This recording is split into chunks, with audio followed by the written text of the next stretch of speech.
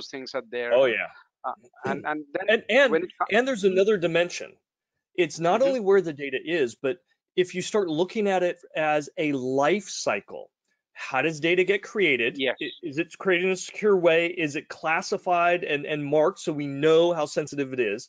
You know, how does it get distributed? And how does it die? And that's Exactly. when when I sit and, and I talk with IT folks or or organizations, you know, HR, whatever, you know, I'll ask, all right, how do you kill off data? And they'll look at me like, why would I delete data?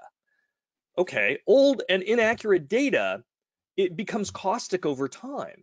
And now what happens if that inaccurate data also gets exposed? That becomes real. I do have a few more minutes. Yes. Great. Let me ask you this: What what are some of your top predictions for 2021? All right. Um, you know, first off, I'm going to make a prediction about your industry. How about this? Okay. right? Sure, Because it is, sure. you know, that, Absolutely. that continuous, um, you know, validation is important. Uh, especially right now, it's predominantly being used on infrastructures, right, uh, to maintain uptime and and you know weed out vulnerabilities.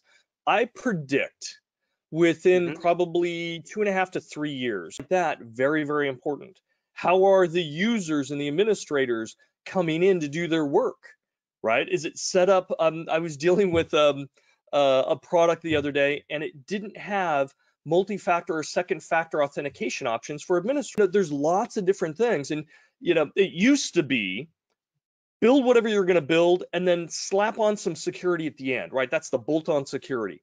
That model fails and it fails spectacularly. It fails because it doesn't really protect against risks. It isn't sustainable over time against emerging threats. It costs a lot at the end of the day between 20 and 200 times versus you know putting security and developing it correctly in the process